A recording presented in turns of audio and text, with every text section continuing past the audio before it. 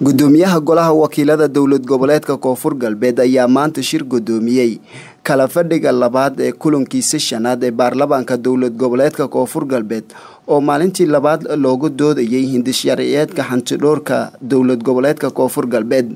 Kulanka ayaa waxaa soo xaadiray konton iyo shan xildhibaan kuwaasi oo ka doodayay hindisharciyeedka hantidhoorka xildhibaan idriis axmed yacquub iyo xildhibaan ibraahim macalin cali ayaa ka hadlay muhiimadda iyo dood kululna ka keenay hindis sharciyeedkan.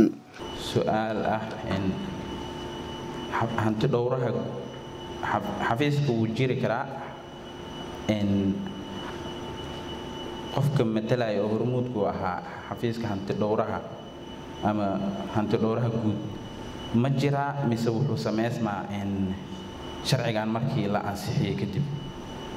Su'aashaas waa qabaa waxay ugu taagan waaye waxaan kaloo rabay sharcigan markii haddii uusan jirin sharciga maxuu u caddayn waayey in markii baarlamanka uu ansixiyo muddo intaan la eg ama bil ama laba bil gudahooda in xantidhowraha guud lagu magacaabo. Waxyaabo noocaas in lagu bayaaniya aan jeclaan lahaa. Intamay ka qoranaa shaqaalaha xafiiska hantidhowrka markii lagu reebo xafiiska hantidhowrka guud iyo ku-xigeenshii inay la habraacyada shaqaalaha rayidka hatana may sheegteen ka dhaafidda bage 12 may ka qorana ka dhaafidda shuruucda guddiga shaqaalaha. May faday may sababay inay oo exceptional caseskaas isin qaadatan maadaama shaqaale rayid ooba nagateen shuruuca coiten code of conduct yalisin ku saxiixay may sababay inay exceptionalkan isin meelaha ka dartan oo ah ka dhaafidda shuruucda.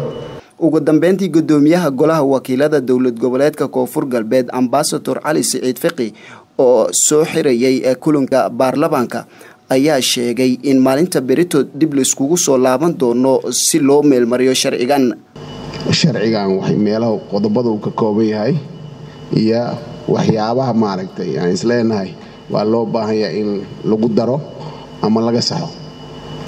Shirkii intaas ayuu noogu egyahay berito waa inoo berito fadlan wakhtigaa la dhooro waxaan leeyahay muhiimad waay inuu sharci wanaagsan baarlamaankan uu ka soo baxo oo aan ciladaysaneen oo meel kasta laga fiiriyey oo berito aan ku faanin karno.